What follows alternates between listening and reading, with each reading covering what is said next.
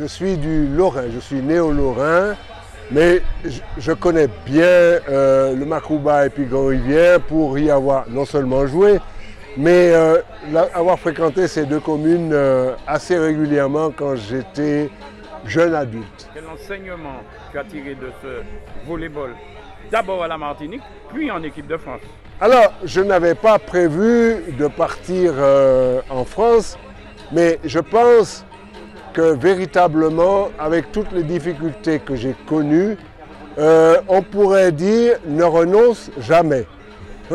Et j'ai l'impression non seulement de ne pas avoir renoncé, mais que ces, non-renoncements, si on peut dire ça comme ça, m'ont aidé à vivre euh, une expérience extraordinaire. Cette expérience, euh, est-ce qu'aujourd'hui tu la transmets aux jeunes? Alors, Aujourd'hui, je suis euh, à la retraite, évidemment.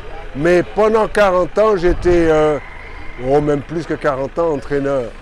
Donc, euh, j'ai toujours essayé de faire en sorte que tout mon vécu soit redonné à ceux qui veulent bien les prendre en considération.